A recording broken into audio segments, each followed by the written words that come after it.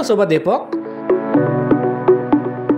Rakernas ke-16 Asosiasi Pemerintah Kota Seluruh Indonesia atau APEKSI resmi dibuka di Upper Hills Convention Hall, Kota Makassar, Rabu 12 Juli 2023. Acara yang bertajuk Kota Kita Maju, Indonesia Kita Kuat diikuti oleh 88 wali kota dan pejabat pemerintahan se-Indonesia, termasuk Wali Kota Depok Muhammad Idris dan jajaran kepala perangkat daerah di lingkup pemerintah Kota Depok.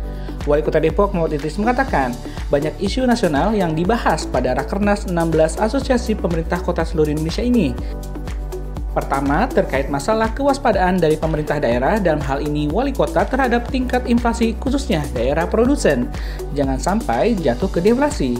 Kiai Idris melanjutkan, isu dan arahan kedua yang dibahas adalah penguatan persahabatan dan kebersamaan antara peserta APEKSI pertama terkait dengan masalah eh, kewaspadaan dari kota terhadap tingkat inflasi khususnya daerah-daerah produsen ini eh, jangan sampai jatuh ke deflasi.